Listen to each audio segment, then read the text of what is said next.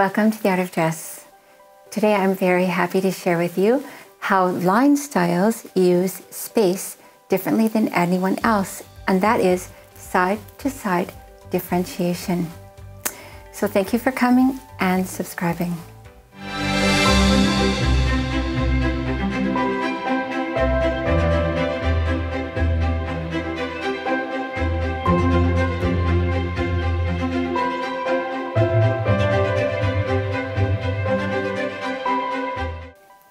Line styles use side-to-side differentiation of space in a way that is really becoming to them, but not so comfortable and not so becoming to others.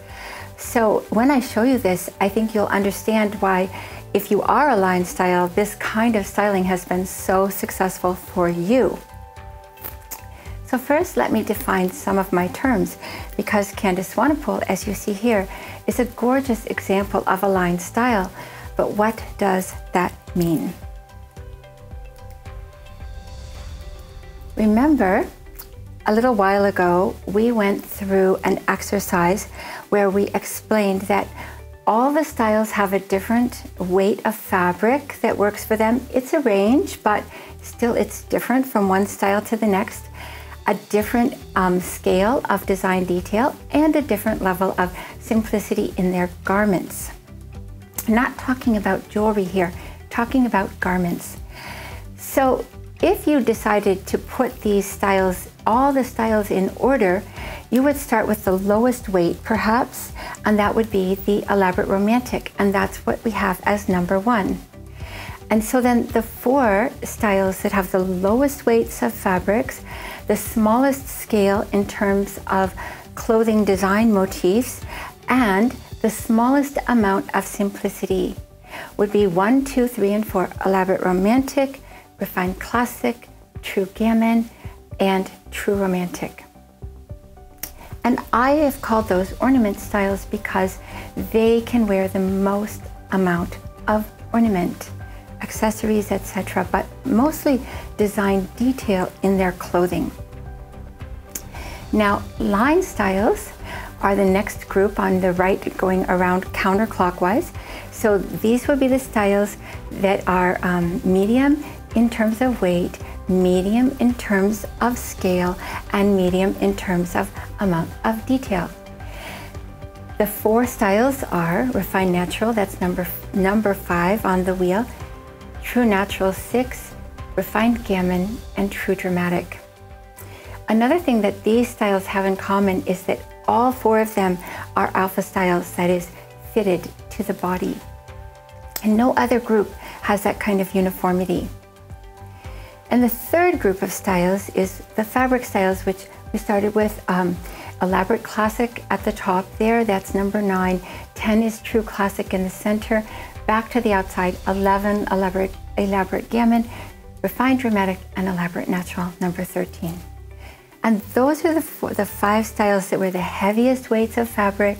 They wear the, um, the, small, the largest scale in terms of, of features, um, design features, and they wear the smallest or the largest amount of simplicity, which is the smallest amount of detail in their garments.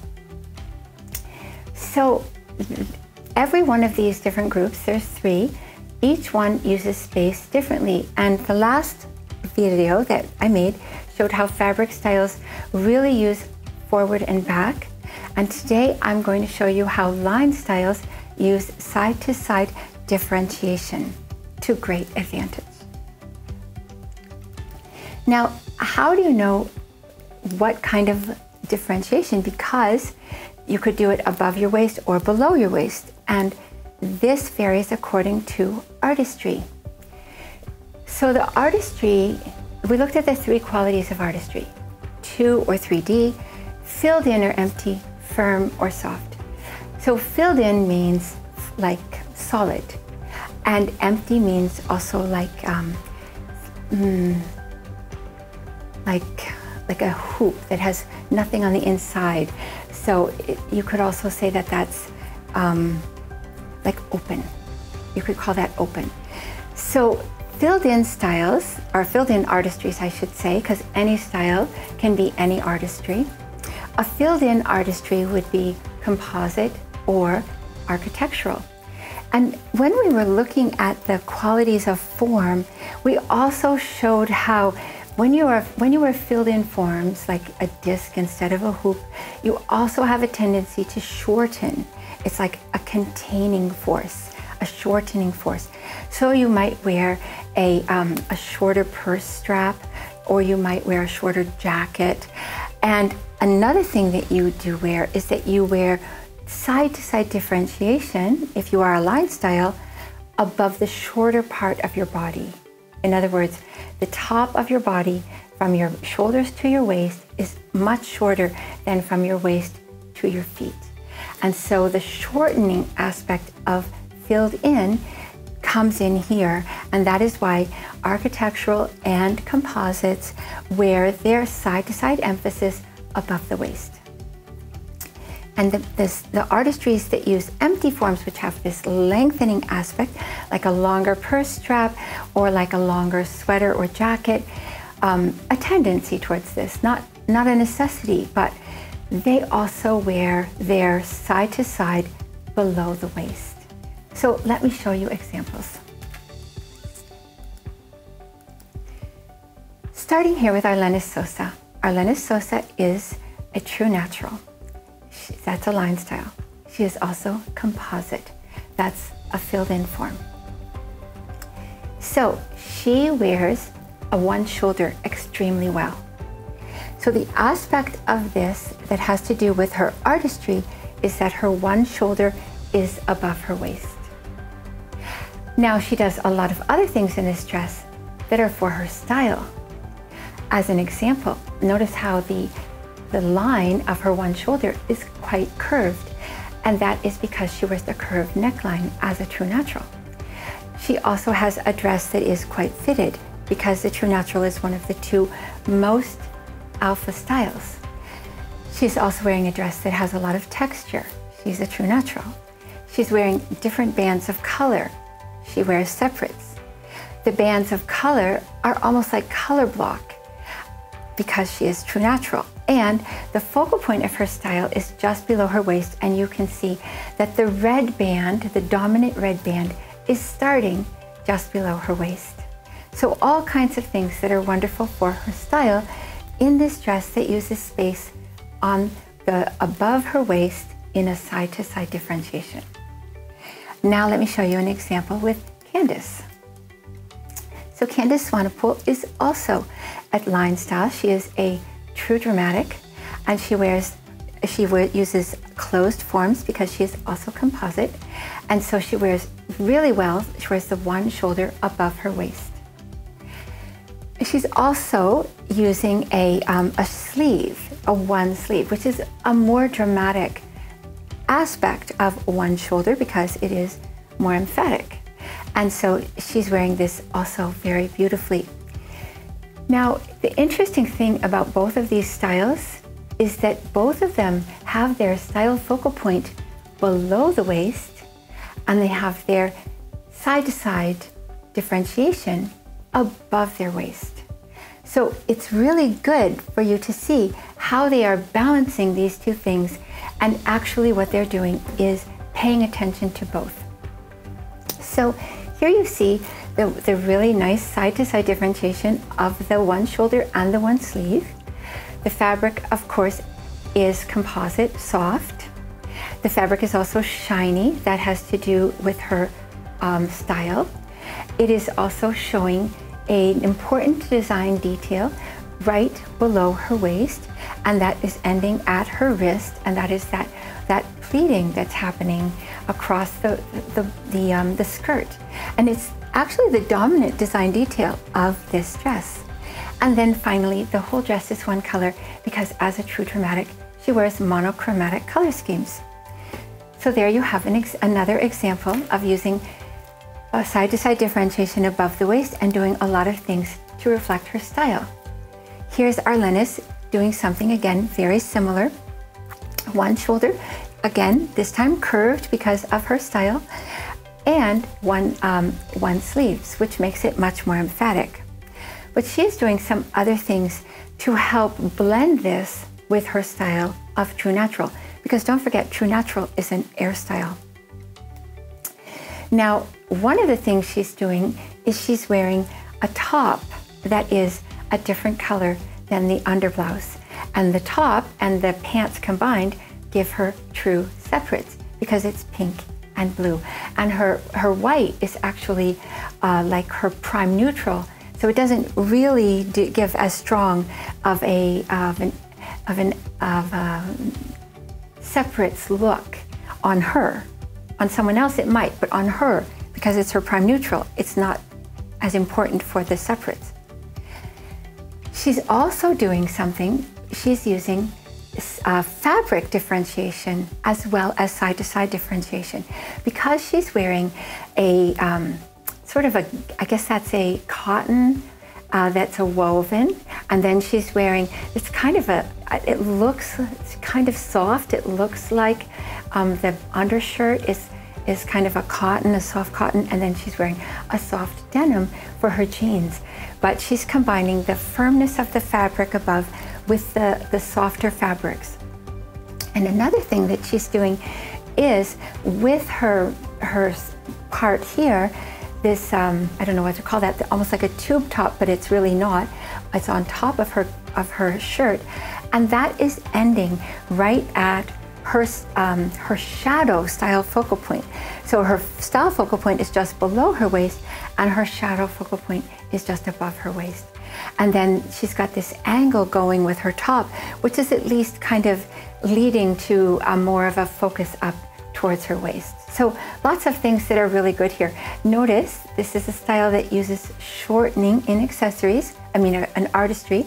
Notice the short strap on her purse. Very cute. So here's, here's another one for Candice. And this one is doing, um, besides the, the using the one side above her waist, she's doing a lot of things for her style in this swimming suit. So the, um, the, the single um, strap here is really cute and looks just great. But the most important style detail to her, besides that, to her swimming suit, is this um, sort of a triangular fabric pleat, and that is below her waist. And that is also angled down and sort of pointing to her to her wrist, which is like if you extended that line of that major pleat there above the sort of an, forming a triangle, that hits that will hit her wrist.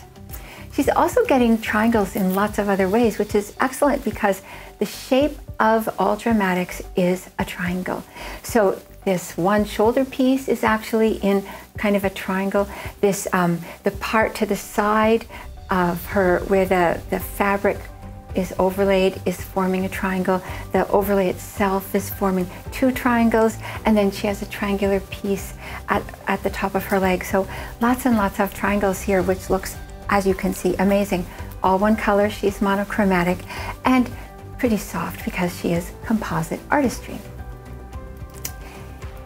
Another example for Arlenis, this dress. So a lot of things here um, for her style, but the main thing of the side-to-side differentiation is in the print.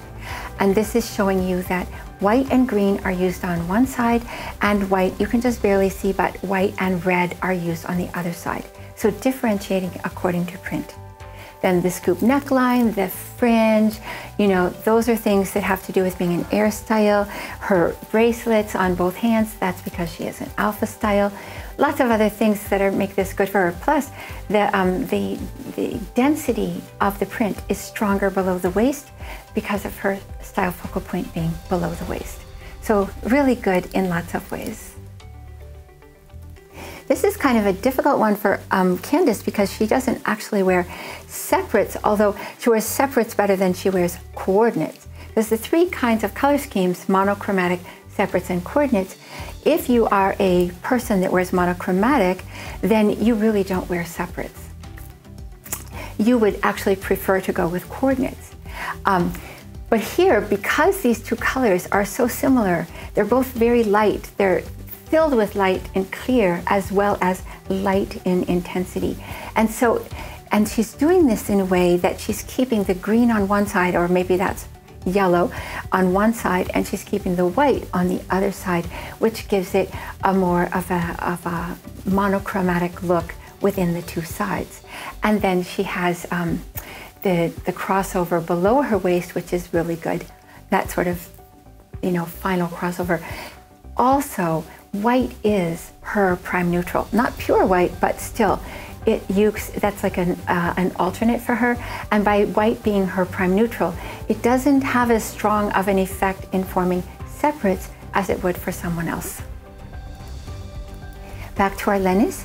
This dress is so cute, and the reason it's so cute is kind of complicated, so I want to explain it. But first of all, the side-to-side -side differentiation here is on using the, the right-hand side, you can see that it's a very thin red line, and on the left-hand side, it's a much broader red line. And the white kind of forms her panel in the middle, which is part of her style.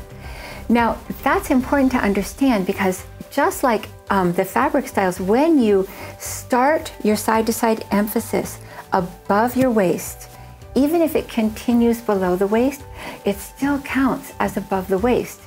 It's only when there is a defined waist and then it starts below that waist that it really counts for below the waist. So side to side can be um, above the waist and extend down as it does in this little dress. But the other thing that's really cute here for her is that um, she's got the this fairly strong contrast with white and red, so it's sort of alluding to separates, and then the differentiation, um, and then the, the center panel, while it is better for her, usually if it is a, um, a narrow line that's part of her style inspiration, in this case, it's still very cute the way it's done, and because this stripe gets quite a lot stronger below her waist, much broader, this white, and even the red, um, that gives you more emphasis below the waist for her style focal point. So lots of cool things in this dress for her and you can see how cute it is. And in this case, the side to side is having this much wider part on the right of the jacket and having the narrower part on the left, plus the zipper on the right. And then having the angled part of the skirt below the waist is giving her something for her focal point being below her waist. Also, there's a little bracketing of her style focal point going on here. I just want to point it out to you. Notice that her style focal point is at her wrist. So just having her sleeve end there, it helps a little, but there's not much going on. But her jacket ends above her wrist and her skirt ends below her wrist by the same amount. So that's like a bracketing that's happening with her, her style focal point being here, right in the center. So that really helps. And then it's a monochromatic outfit, which is amazing for True Dramatic. Now, Arlenis is wearing this really cute top with side to side that is accentuated with her, her, her best way of, of ornamenting her fabrics, which is with trim. Her black trim is her edging that works so fantastically for her. And so this is giving her a really great side to side emphasis. And then the um, she has something else going on with her dress that helps with the side to side below the waist, but mostly the rest of this is the color blocking, which is part of True Natural, the little bit of texture that's worked into the fabric by having that all that shirring going on, and again, the wonderful trim for her. Plus, fabric differentiation because her hat is so different from her uh, outfit in so many ways. It's much more casual, much softer. And um, because of that, being that kind of a really soft knit, it gives her some fabric differentiation. Or I would call that lack of fabric harmony, which this is the only group that can do lack of fabric harmony. So that's amazing for this combination. Now we're going to go on to the other kind of of side-to-side differentiation below the waist. And again, this is back to the different forms of your artistry. And in the cases that I'm showing you, these are the, the, the artistry, the kinds of artistry that use empty or, or um, not solid forms, open forms. And that has also this lengthening aspect. So this is the harmonic and the sculptural. So start with um, Josephine Skriver. She's refined natural and she is sculptural. So what the top actually gives her is a symmetry and she's also getting this um, point of like this empty space here is centered on her her style focal point, but the side to side is all going below her waist. And this is the exact opposite of the other two examples because her style focal point is above her waist and her side to side is below her waist. So marking of the focal point becomes actually pretty important when you're going to do something so special like side to side. And in her case, the, the symmetry above her waist and this empty space do help enormously. And then what she's doing for side to side is using something that really is a signature of her style, and that is the complex ruffle um, with sort of a peplum look. And she's got this lots of ruffling fabric happening below her waist, plus very short on the right side and then down to her knee on the left side. So side to side focal point, or side to side differentiation in the, um, in the skirt is very strong. Micah Janelli is the other kind of line style that uses side to side differentiation below her waist and like Josephine, her style focal point is above her waist. So she is doing something here that I want to talk about. First of all, the side to side with the skirt is so cute. And it's really cute for a bunch of reasons. For one thing, it's gathered all the way on the side. It's not like half and it's not like um, part of it is on the other side. No, it's a skirt using that kind of extension of line that is so wonderful for her, both for her style and her artistry. And it is all the way on the right side of her body. It's the left of the picture also, she's accentuating that more by using this cut-off denim that's not only denim, but it's distressed denim with this kind of a satiny fabric. And it works amazingly for her because it sets up this kind of fabric, lack of fabric harmony that is so fantastic. Now the top of her outfit is not marking her focal point at all because it doesn't have anything here at her empire waistline except that it's fitted to her, but that's the case for all of these alpha styles fitted in the torso.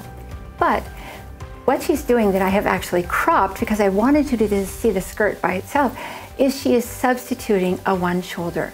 So it's not the perfect answer, but it is an answer, and it works in this case because of the fact that she has nothing else bringing focus to the top of her garment, which is where her style focal point is. So that's why she kind of gets away with it here, but the skirt itself is what makes this outfit and is so fantastic. Now, this dress is deceptive because what's making it so good for her?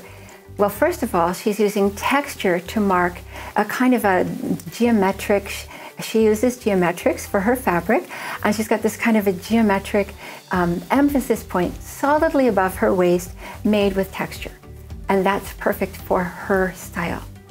And then she's got the side to side below her waist, side to side differentiation in two ways, um, actually three ways. The first one is she's got all those gathers on one side only.